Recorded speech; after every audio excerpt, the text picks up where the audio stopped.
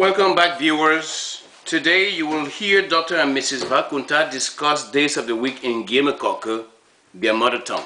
Nene, how many days are there in the Bamunka week? Now, the Bamunka week has eight days. Hmm. Eight days? I thought there were seven. No, no, we have eight days in the Bamunka week. Well, could you name them for me? And what's the first day called?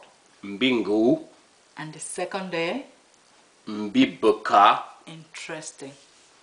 Was it third day?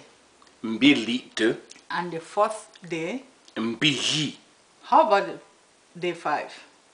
Mbikudu, How do you call day six? Mbimbi, And day seven? Mbikua. Do we really have day eight? Yes, of course. Day eight is called Mbimbwana. My goodness. Could we say it one more time? No problem. It is difficult.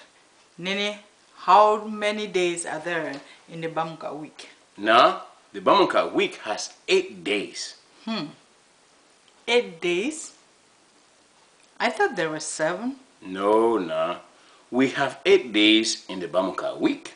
Well, could you name them for me? And what's the first day called? Mbingu, And the, and the second day? Mbibuka, Interesting. What's the third day? Mbilite, And the fourth day? Mbiji, How about day five? Mbikudu, How do you call day six? Mbimbi, And day seven? Mbikua. Do we really have day eight? Yes, of course. Day eight is called Mbimbwana. Thank you so much, viewers. Next time we'll be talking about food items in Ngiemeukohkeuh.